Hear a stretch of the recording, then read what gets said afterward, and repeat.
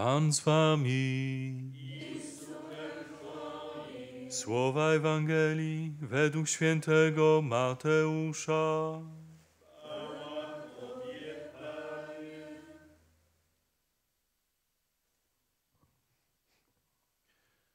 Gdy mędrcy się oddalili, oto anioł pański ukazał się Józefowi we śnie i rzekł: Wstań, weź dziecię i jego matkę i uchodź do Egiptu.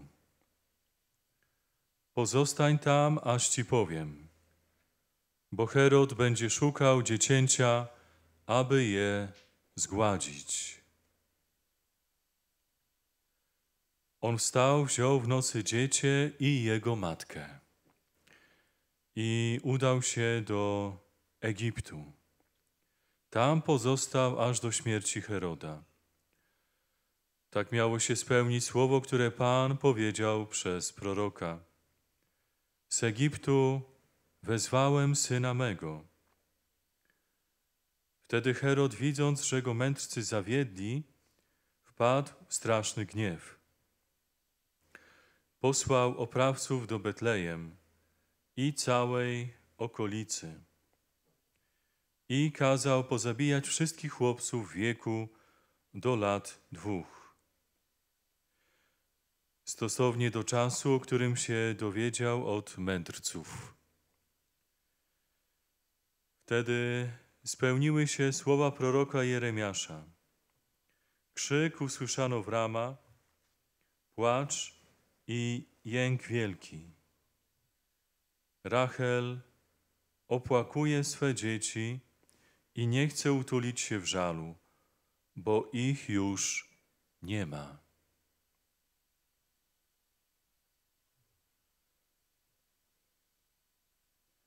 Oto słowo Pańskie.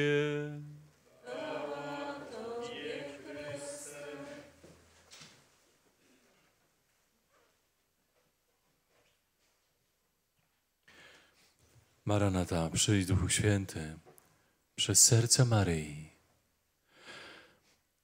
abyśmy e, dzisiejsze słowo odczytywali jako zachętę do męstwa, odważnego składania świadectwa, skoro małe dzieci oddały swoje życie dla miłości Jezusa, dla miłości do dzieciątka Jezus. Shala Maria, Maria, Maria solo, malafara melon, Adonai Maria solo, chetol lachamel.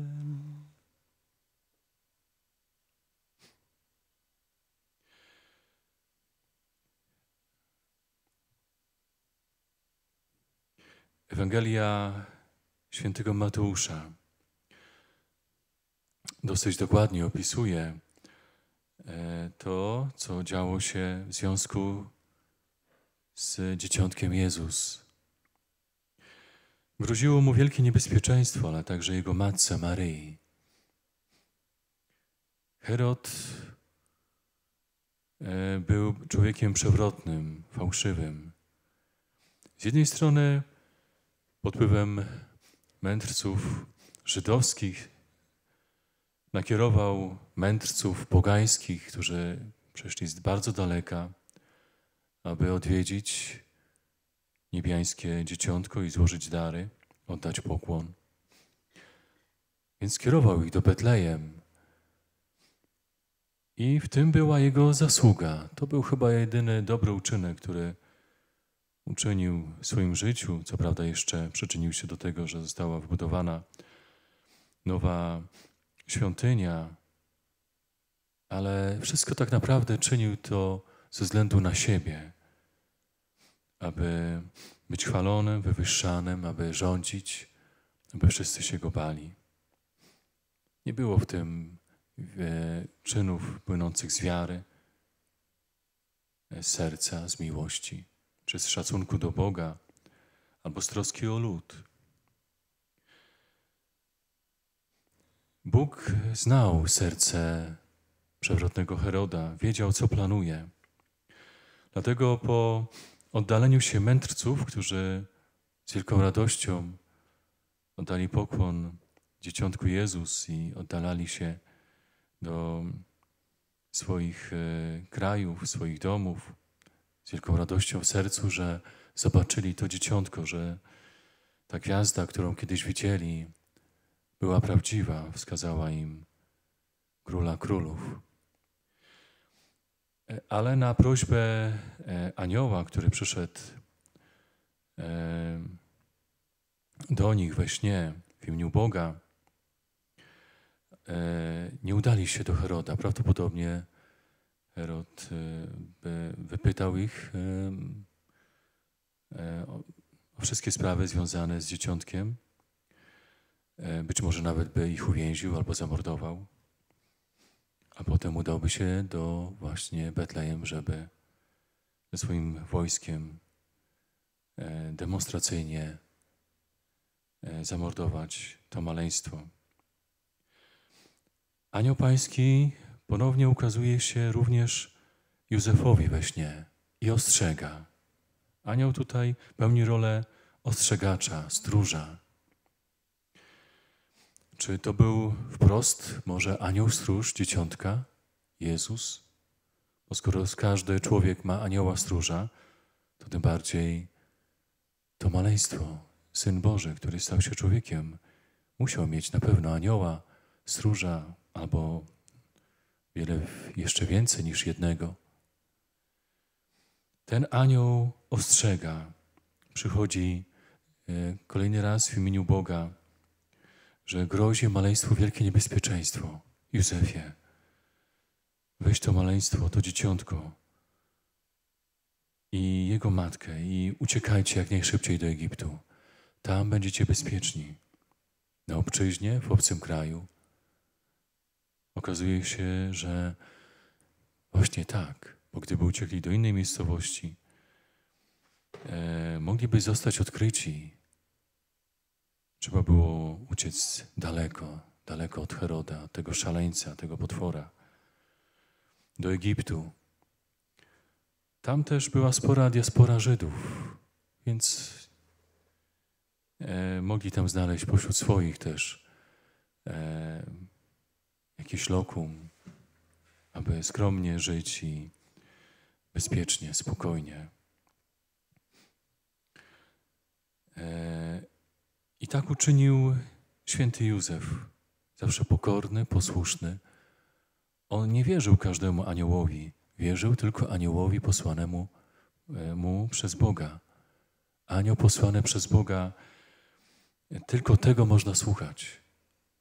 I Józef więc był pewien, że kiedy posłucha tego anioła, anioła Bożego, e, to dzieciątko będzie uratowane. Tak miało także spełnić się słowo proroka Izajasza z Egiptu wyzwałem syna mego, czyli tam byli kilka lat. Według tradycji kilka lat przynajmniej byli e, w Egipcie. Herod zmarł straszną śmiercią. Podobno umierał w wielkich mękach. Podobno e, cierpiał na straszne bóle wnętrzności, rodzaj nowotworu, który trawił jego cia całe ciało, ale szczególnie wnętrzności. Więc umarł straszną śmiercią, ale zasługiwał na to. Był potworem. E, Herod e, to symbol wszystkich okrutników, potworów, władców tego świata, którzy istnieli i będą jeszcze istnieć do końca tego świata. W wielu miejscach na ziemi są władcy, którzy są potworami. Czyż nie jest potworne to, że e, są państwa, gdzie choćby aborcja, czyli mordowanie niewinnych maleństw, jest dopuszczona do któregoś miesiąca, e, kiedy kobieta może swoje dziecko zabić. Do piątego, szóstego, a w niektórych krajach, nawet w niektórych stanach Stanów Zjednoczonych, nawet do dziewiątego miesiąca. E, w Chinach najwięcej aborcji się dokonuje Tam e, można by było mieć tylko jedno dziecko, teraz podobno tylko dwoje. E, jak e, kobieta ma więcej niż dwoje dzieci, to jest przymusowa aborcja. E, słyszałem o takich e, kobietach, które właśnie miały już trzecie dziecko i tak specjalna tak zwana policja aborcyjna ścigała takie kobiety i na siłę e, dokonywała aborcji, potem kładąc te zamordowane dzieci na ich e, brzuchu. Przerażające. Że są właśnie takie nawet siły, takie siły zła. Policja aborcyjna. I te kobiety, świadectwa tych kobiet przerażonych, strasznie cierpiących na siłę aborcji, wyobraźcie sobie, jak to potwornie wygląda. Kobieta po aborcji jeszcze ma uśmiercone dziecko na sobie, musi e, na brzuchu trzyma. Niesamowite to jest, ale to są właśnie chorodzi tego świata. Tacy sami jak ten, ale może nawet jeszcze gorsi.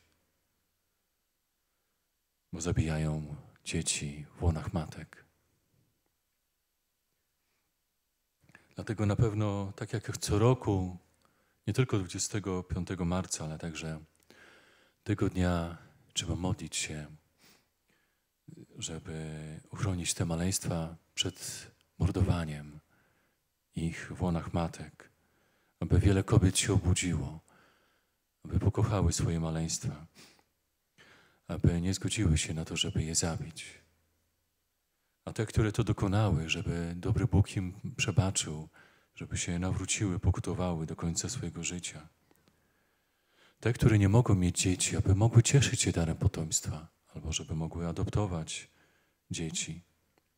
Tyle dzieci cierpi, tyle dzieci e, jest nawet też sprzedawanych w ramach handlu do, e, przeznaczonych do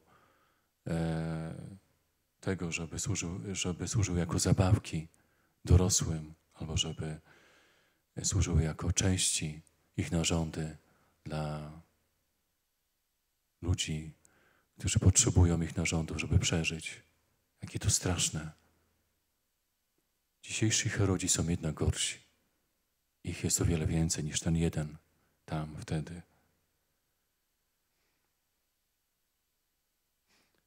Dlatego e, tutaj na końcu też E, po tej śmierci tych dzieci e, w Betlejem i w całej okolicy do lat dwóch, kiedy było wielkie cierpienie, ból tych matek, które utraciły swoje dzieci.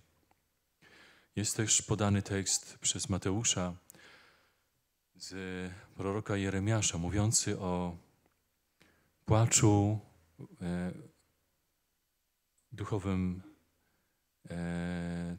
lęku, trwodze, cierpieniu, w rama. Rachel opłakuje swe dzieci, nie chce utulić się w żalu, bo ich już nie ma. To jest taka przenośna mówiąca o cierpieniu narodu żydowskiego w różnych momentach historii tego narodu, kiedy e, zdarzały się najazdy, niewola, rzezie, e, czy w Jeruzalem, czy w różnych miejscach tego kraju byli, byli mordowani młodzi, także dzieci, kobiety, starcy. Wielkie cierpienie. Ale tutaj jest to w kontekście cierpienia tych właśnie niewinnych dzieci. E, I to się odnosi właśnie do tego, co powiedziałem przed chwilą. Rachel to również matka, Kościół, ale także Maryja to duchowa Rachel, która bardzo cierpi z powodu mordowania, zabijania niewinnych dzieci w łonach matek, ale także kiedy się urodzą, e, też są zabijane. Na tym cierpi Kościół, ale cierpi przede wszystkim i płacze Maryja. Dlatego trzeba nam pocieszać naszą Matkę Maryję troszczyć się o obronę życia dzieci, tak jak potrafimy. Niewiele możemy zrobić, ale zawsze możemy się modlić i mówić o tym, że nie wolno zabijać niewinne dzieci i nie wolno zabijać Także po narodzinach dzieci w ogóle nie wolno zabijać kogokolwiek. Jeszcze w tak okrutny, przerażający sposób. Albo wykorzystywać e, abortowane dzieci, albo jeszcze przed aborcją, do tego, żeby potem mogły służyć do różnych eksperymentów, do różnych tak zwanych preparatów. To jest straszne. To jeszcze też jest e, przerażające. Preparaty eksperymentalne zabortowanych dzieci, zamordowanych. Do czego to doszło? Że się przymusza ludzi na całej ziemi, żeby taką truciznę i to jeszcze zabortowanych dzieci przyjmowali.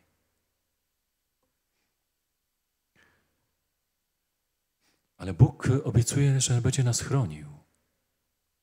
Posłał anioła, aby uchronił e, dzieciątko Jezus, Maryję, Józefa. Trzeba nam się też duchowo udać do Egiptu, do miejsca bezpiecznego. Tam nic nam nie grozi. W Egipcie będziemy bezpieczni. Trzeba do takiego duchowo miejsca się udać i chronić się przed Herodami tego świata. Jest ich oprócz tych, którzy dokonują na przykład aborcji, masakrują te niewinne maleństwa, e, to także są inni Herodzi, duchowi. Oni wpływają na to, że zabijane są dusze. Ci są jeszcze bardziej niebezpieczni, którzy wsączają duchową truciznę zła do serc, do umysłów i zabijają duszę. Ci działają pod wpływem szatana. Zresztą Herod też przecież był opętany. Nie przez jednego, ale całe legiony demonów. Dlatego trzeba uważać na tych Herodów, bo oni są jednak o wiele gorsi. Zabić dzieciątko to jest przerażająca zbrodnia, ale zabić duszę to jeszcze gorsza. Dlatego powtórzę, udajmy się duchowo do Egiptu z dzieciątkiem, z Maryją i Józefem. Aniołowie będą nas chronić. Tam nic się nam nie stanie.